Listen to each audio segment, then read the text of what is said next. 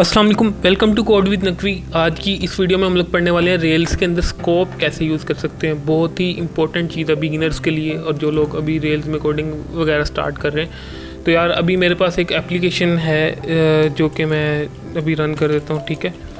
और इसमें हम लोग स्कोप्स का यूज़ करने वाले हैं। अब स्कोप होता क्या है यार? पहले इसको समझ लें।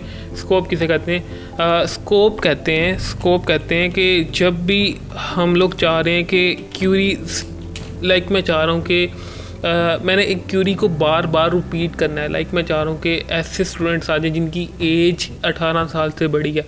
अच्छा अब ये क्यूरी जो है ना मैंने अपने कंट्रोलर uh, में या कहीं पे भी कई जगह पे यूज़ करनी है। तो इस क्यूरी को मैं कैसे हैंडल करूँ? तो उसके लिए हमें एक रेल्स एक मेथड देता है एक वो है स्कोप का। बहुत ही ईजी है। कोई इतना मुश्किल नहीं आपने बहुत नाम सुना होगा यार ये स्कोप डिफ़ाइन कर लो स्कोप अब स्कोप डिफ़ाइन कैसे करते हैं? अच्छा मेरे पास एक ये मेथड बना हुआ है अप्रूव नोड अपडेट स्टेटस का। अच्छा बहरहाल, अभी मैं ये मेथड अभी मैं आपको कुछ क्लास मेथड के मतलब नहीं, अभी मैं स्कोप के मतलब ही रहूँगा ताकि ये वीडियो में सिर्फ़ स्कोप को कवर करें। अच्छा स्कोप होता क्या है? स्कोप कवर लाइक मैं जा रहा हूँ, अभी मेरे पास ना, मैं अगर रेल्स कंसोल खोल के दिखाऊँ, मैं मोस्टली कोशिश करता हूँ कि टर्मिनल पे ही हम सारा काम करें आज ये ताकि हमारे टर्मिनल पे चेक करेंगे और इसे कई जगहों पे आप फिर यूज़ करिएगा अपनी मर्ज़ी के मुताबिक। तो यहाँ पे मैं लिखता हूँ रेल सी रेल सी लिखा तो आई थिंक कोई एरर आ रहा है और वो एरर आ रहा है अनडिफाइंड मेथड मिसिंग अच्छा मेरा कोई यहाँ पे कुछ गलत हो गया। हाँ ये। तो रेल सी आपको छोटी सी चीज़ पे भी एरर दे सकता है। तो बहरहाल रेल सी मैंने किया। अब रेल सी करके ना मैं ज़रा ये लाइन नीचे ला रहा हूँ। अच्छा अब मुझे यहाँ पे ना मेरे पास एक क्वेश्चन का टेबल है, ठीक है? Question question dot whole first करता हूँ। तो मेरे पास ना ये क्वेश्चन का टेबल है, सही है? अब जिसमें क्या क्या पड़ा हुआ है, जिसमें क्वेश्चन आईडी पड़ा हुआ है और उसके उसके अंदर एक पैराग्राफ एचटीएमएल सेव करवाई हुई है टेक्नोलॉजी आईडी है और स्टेटस ट्रू है, सही है? तो मुझे क्यूरी यूज़ करनी है। मैं आपको अभी ना क्वेश्चन डॉट ऑल करके दिखाता हूँ। मेरे पास कितने क्वेश्चन हैं? ऑल और ये काफ़ी ज़्यादा ऑल डॉट काउंट तो मेरे पास अभी सात क्वेश्चन है इस टाइम मेरे डाटाबेस में। अच्छा अब इन सब में स्टेटस पड़े हुए हैं। स्टेटस का कॉलम जिस तरह से अभी हमने डिस्कस किया यहाँ पे कि एक कॉलम स्टेटस का है। अच्छा मुझे वो स्टूडेंट चाहिए जिनका स्टेटस जो है ना, वो क्वेश्चन चाहिए जिनका स्टेटस ट्रू है। तो मैं यहाँ पे एक स्कोप क्रिएट कर लेता हूँ, ठीक है? स्कोप क्रिएट करना बहुत ही आसान है। अब जिस तरह से मैंने अभी ये सिंटेक्स यहाँ पे अभी कॉपी किया तो स्कोप का यहाँ पे क्या आएगा? नाम आएगा सबसे पहले।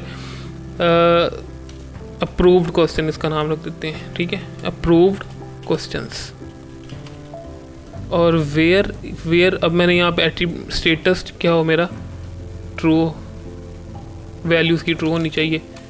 तो यहाँ भी लिख देता हूँ स्टेटस ट्रू तो मुझे वो क्वेश्चन चाहिए। अच्छा जब भी मैं अप्रूव क्वेश्चन को कॉल करूँगा ना तो वो ये कंडीशन लगा कर मुझे रिज़ल्ट जो है ना रिटर्न करेगा। मतलब कि मुझे बार बार लिखने की ज़रूरत नहीं है, मुझे बस ये चेक करना है कि ये क्वेश्चन अप्रूव्ड अप्रूव क्वेश्चन है या नहीं। मतलब मुझे अप्रूव क्वेश्चन को गेट करना है, ये क्यूरी करनी है सपोज़ तो अब ज़रा मैं इसको कॉल करता हूँ। क्वेश्चन डॉट अप्रूव्ड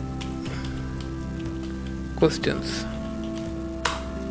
वो कह रहा है अनडिफाइंड मेथड अच्छा मेथड का नाम मेथड का नाम तो सही है, पर मैं इसे कॉपी कर रहा हूँ। अच्छा एक और चीज़ आपने करनी है कि आपने ना इसे रीलोड कर लेना रीलोड करना बहुत ही आसान है। रीलोड करना है और बैंक साइन डालना है तो ये आपका रीलोड हो जाएगा। फिर आपने चेक करना है तो अप्रूव क्वेश्चन मिल चुके हैं। और अप्रूव क्वेश्चन डॉट काउंट करता हूँ तो ये पाँच है, ठीक है? मेरे पास अगर क्वेश्चन डॉट ऑल में अगर करके दिखाता हूँ तो वो सात है, लेकिन अप्रूव क्वेश्चन जो है वो पाँच है। तो मुझे अब इसने क्या किया कि इसने वो क्वेश्चन देखें ज़रा, ये क्यूरी क्या चली? Select question from question with question status equal to true तो उसने उसने मुझे वो क्वेश्चन ला कर दिए जिनका स्टेटस क्या था? ट्रू था। अब ये जो है ना अप्रूव क्वेश्चन वाला, ये आप कहीं पे भी यूज़ कर सकते हैं। सपोज़ आप आप चाहें तो इसके इंडेक्स पे यूज़ कर सकते हैं। मैं अगर क्वेश्चन कंट्रोलर दिखाऊँ यहाँ पे आपको। तो सपोज़ अगर मैं यहाँ पे क्वेश्चन कंट्रोलर में इंडेक्स का मेथड बनाता हूँ, सही है? डेफ इंडेक्स और एंड और यहाँ पे मैं लिखता हूँ ऐड क्वेश्चन सही है? तो add question equal to question उनके क्वेश्चन का मोड वो मैंने यूज़ करना है। Question dot approved questions.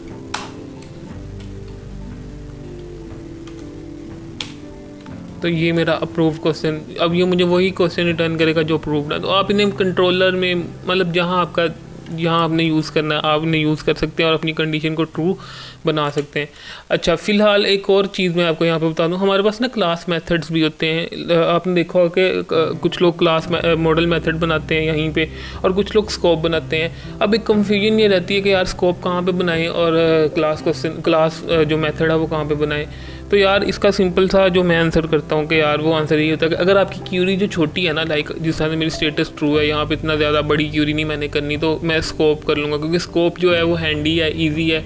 कोई मुश्किल चीज़ नहीं है। लेकिन अगर मेरे पास क्यूरी ज़्यादा बड़ी है और मैंने कुछ ज़्यादा चीज़ें हैंडल करनी है तो फिर मुझे क्लास मेथड की तरफ़ जाना पड़ेगा। उसके अलावा एक और केस डिस्कस किया जाता है कि अगर क्लास मेथड जो है वो नील को हैंडल नहीं कर पाता, अगर हम, अगर हमारे कोई डाटा एग्जिस्ट नहीं कर रहा तो फिर वहाँ पर एक्सेप्शन वगैरह क्रिएट कर रहा होता है।